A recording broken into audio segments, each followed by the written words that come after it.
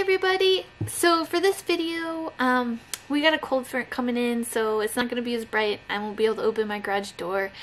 Um, it's not super cold, but it's only about 50 in the studio again. Uh, I was getting so excited because we had such beautiful days the last video I made.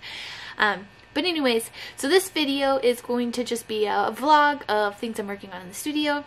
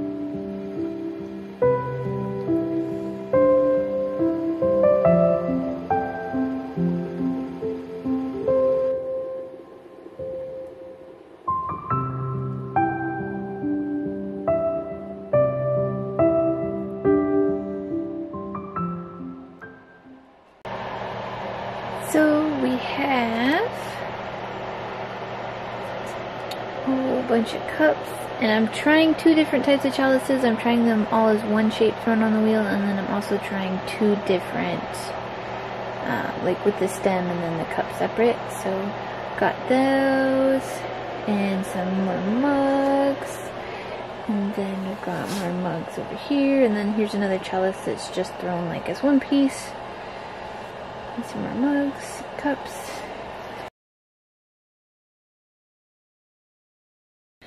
So I was hoping to get these trimmed today, and that's what I was planning on doing, but they're still a little wet. So instead, we're just gonna do some more throwing. Um, I did end up making some handles for that. Um, I will likely include that in this video. We've got about two damp boxes full of pieces. Like I said, they're not ready to trim, so we've got a couple more days on those. So today we're just going to be throwing.